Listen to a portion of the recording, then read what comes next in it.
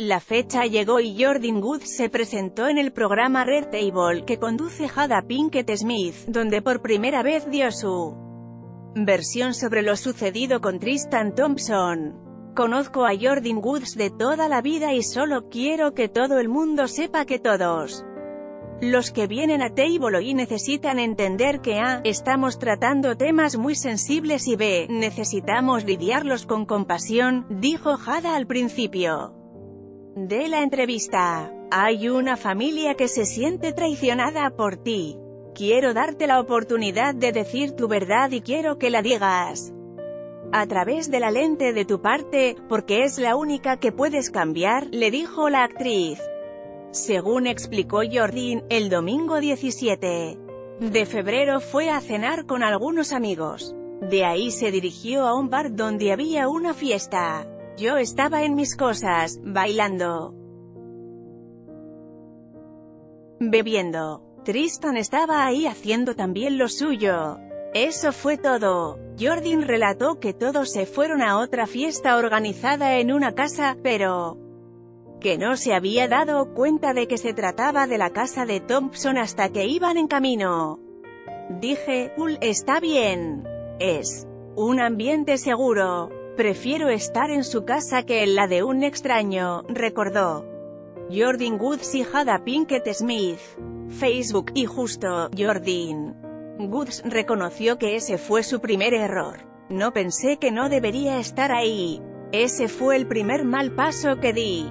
No pensé en cómo me sentiría si alguien cercano a mí fuera a pasar el rato a casa de mi ex, o del padre de mi hija.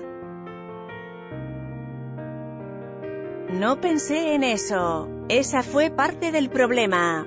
Debí haber ido a casa después de la fiesta. Ni siquiera debí haber estado ahí. Una vez en casa de Thompson, ella y el basquetbolista se pusieron a platicar con un grupo de gente.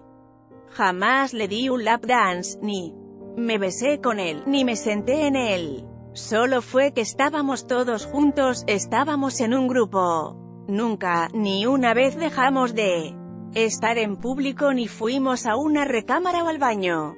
Estábamos a la vista de todo, explicó Woods. En mi vida, en mi mundo. Todo eso tiene sentido. Dos noches antes tuve una racha de fiestas.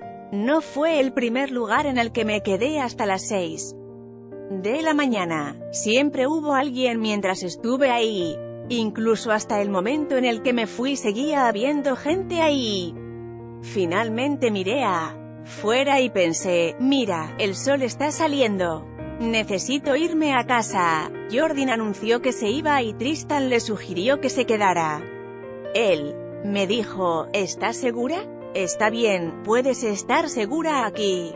Le contesté, ¿sabes qué? Necesito irme. Tenía un coche afuera, había un chofer que me estaba esperando. Y aquí es cuando la historia se complica. Siento que no puedo señalar a nadie. No puedo decir, tú hiciste eso, porque yo me permití ponerme en esa posición. Me permití estar ahí. Nunca estuve tan borracha hasta el punto que no recuerde lo que pasó.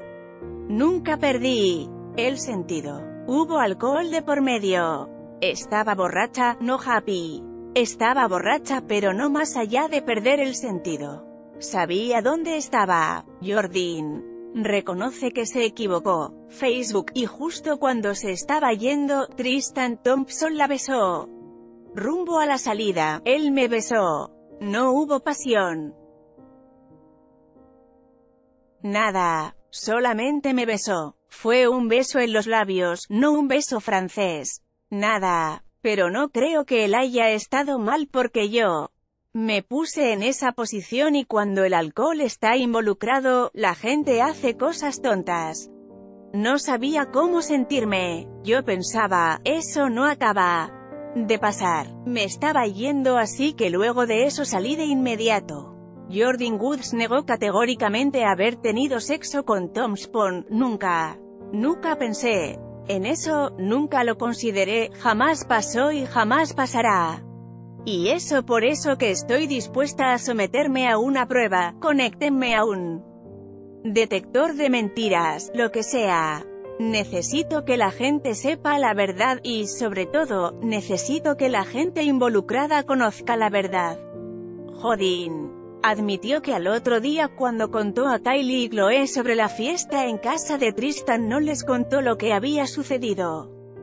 Pero no por una intención maliciosa, sino porque tenía miedo. Aún así, asegura que no es una hogares.